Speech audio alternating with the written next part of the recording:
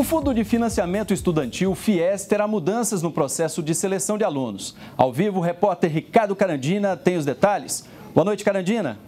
Olá, José Luiz, boa noite a você e a todos. Bem, as mudanças valem para a seleção dos estudantes que vão receber o financiamento estudantil a partir do segundo semestre deste ano. As inscrições para o FIES, o Fundo de Financiamento Estudantil, que no ano passado foram em agosto, vão ser antecipadas para junho.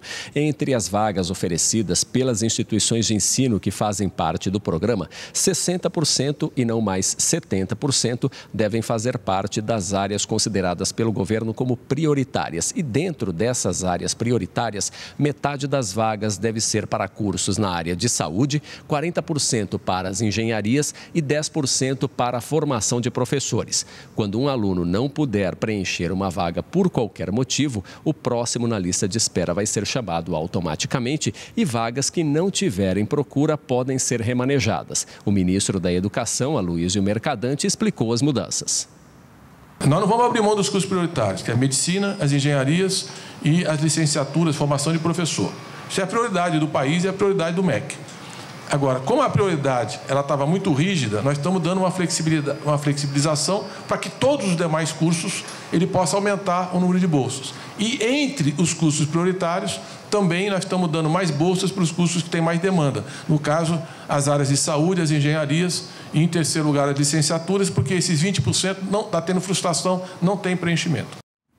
Bem, o ministro disse também que a prioridade é para cursos com melhor avaliação e, que, e afirmou que essas mudanças vão facilitar o acesso dos estudantes ao financiamento estudantil. Todas as mudanças vão exigindo mais qualidade, mais transparência, um critério mais republicano, protege mais o aluno. É muito mais rigoroso o processo de seleção.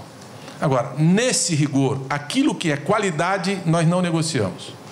Aquilo que é procedimento, flexibilização, mais liberdade para as empresas de educação, as faculdades, os cursos poderem é, melhorar o atendimento da demanda, nós estamos dispostos.